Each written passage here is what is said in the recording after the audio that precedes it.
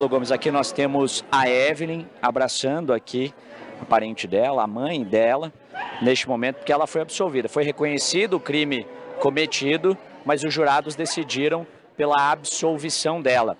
A doutora Thais, inclusive, está aqui, está acompanhando ela, ela que atendeu a Evelyn durante esse período. A Evelyn bastante emocionada nesse momento, abraçando a mãe por tudo que aconteceu, cinco anos de processo,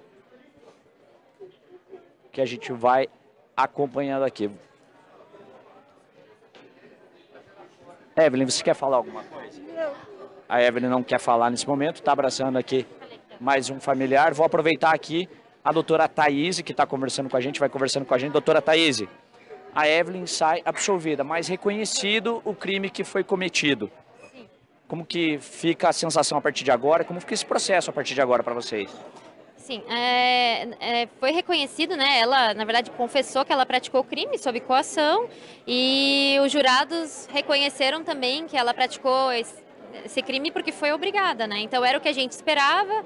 E nós agradecemos aqui aos jurados e toda a comunidade de São José dos Pinhais por, por ter reconhecido. Agora ela vai seguir a vida, vai em frente, continuar trabalhando com os filhos e esquecer essa parte da, da vida dela, ficando só os aprendizados.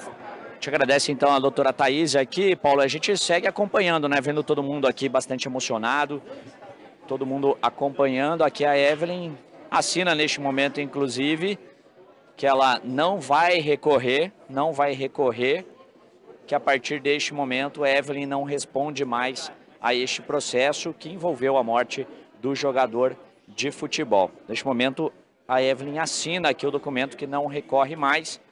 Pelo menos para Evelyn, neste momento, esse caso está encerrado.